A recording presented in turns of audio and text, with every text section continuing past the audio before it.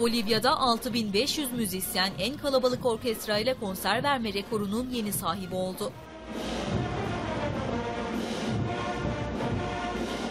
Bolivya'nın Oruro kentinde gerçekleştirilen etkinlikte ülkenin farklı kentlerinden binlerce müzisyen bir araya geldi.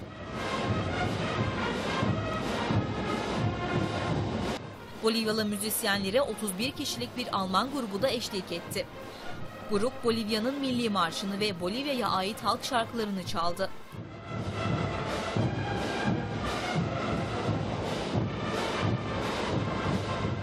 Devasa müzik grubunun verdiği konseri izlemeye binlerce kişi geldi. Bolivya Devlet Başkanı Evo Morales de dünya rekorunun kırıldığı konsere izleyici olarak katıldı.